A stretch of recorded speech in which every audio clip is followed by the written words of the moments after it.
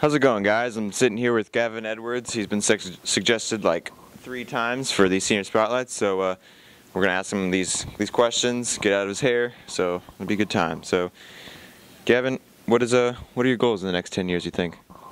Uh, my goals would be to have graduated law school by then, hopefully.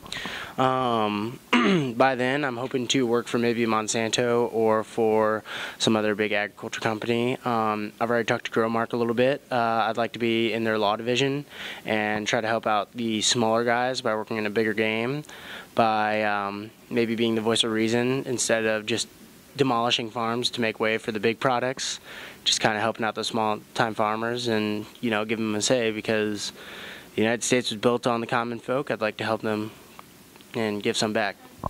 That's a pretty pretty in-depth thing, dude. That's nice. All right. Um, so you have all those goals and whatnot, and you know what you want to do, but uh, what motivates you to accomplish those goals?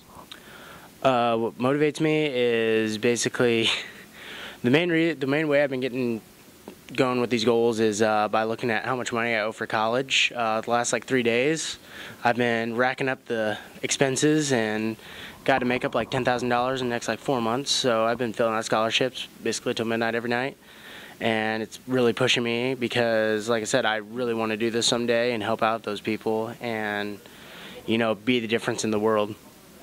It's a man with a plan right there. All right. Um, so if I asked any of your teachers to describe you, what do you think that they would uh, describe you as? Uh, I think they'd describe me as lazy and second rate, but I talked to Mr. Asmus the other day and he says I'm actually like a pretty good student, pretty driven. Um, I never knew this, but uh, you know, I'd like to think that I'm a hard worker most of the time and that I want to get my stuff done. Um, I try my best to keep the ag chapter going and I try my best to keep with my sports affiliations. Uh, wrestling this year was kind of tough because we only had a team of like nine people, but I think we pulled through and did really good this year. Nice, man. All right, so uh, what has been your favorite high school memory? Um, my favorite high school memory is probably got to be freshman year when me and uh, Colton Cindy were walking through the hallways and we were joking around with each other. And he turned around trying to scare me by punching me in the face like a few inches away. Instead, he hit me right in the nose, and my nose wouldn't stop bleeding for the next like five minutes. I was uh, late to physical science class, and uh, a whole bunch of students were like, "Dude, you get into a fight? Did uh, you beat the crap out of him?" And I was like, "Yeah, uh, no, just uh, just got accidentally got punched in the face."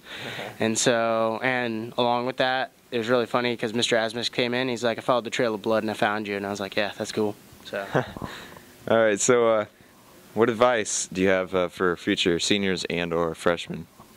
Uh, some advice I'd have is probably just go for whatever you can. Um, don't be timid because if you're timid about it, it's you'll have a terrible high school experience.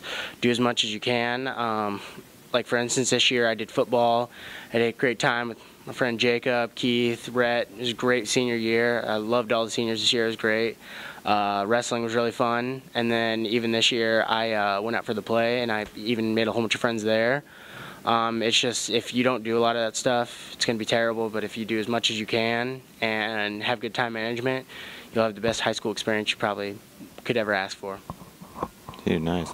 Good advice. All right, so uh, what do you think the biggest trend was this year? I'd say the biggest trend, especially around football season, was instead of saying my bad, say my B. Uh, I remember Coach Hancock made us run many sprints because Brendan Day would always say my B if he didn't catch a ball. So I'd say that was probably one of the biggest trends of the entire year. all right.